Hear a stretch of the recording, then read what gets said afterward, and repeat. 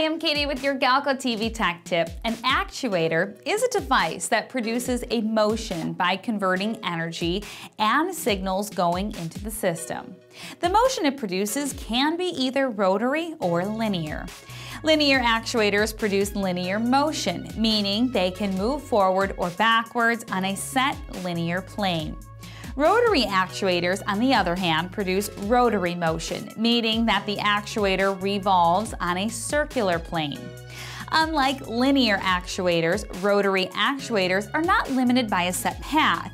It can keep rotating in the same direction for as long as necessary.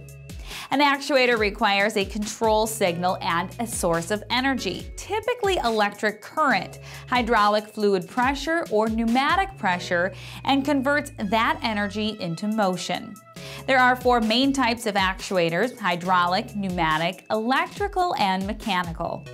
A hydraulic actuator consists of a cylinder or fluid motor that uses hydraulic power to facilitate mechanical operation.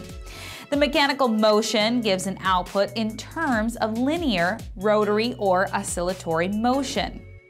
A pneumatic actuator converts energy formed by vacuum or compressed air at high pressure into either linear or rotary motion.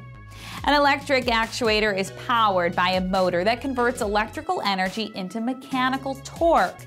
The electrical energy is used to actuate equipment such as multi-turn valves. A mechanical actuator functions by converting rotary motion into linear motion to execute movement. It involves gears, rails, pulleys, chains, and other devices to operate.